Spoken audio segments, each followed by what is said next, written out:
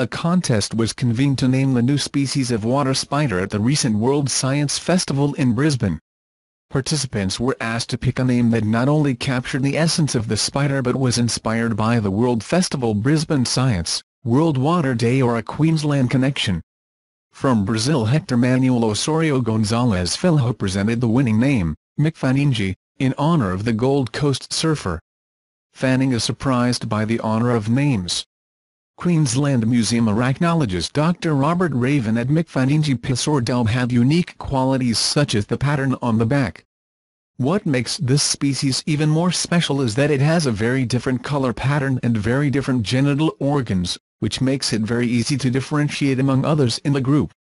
Queensland Premier Annastacia Palaszczuk who is suitable the water spider was named after Fanning, given his illustrious career surfing and connecting to Queensland.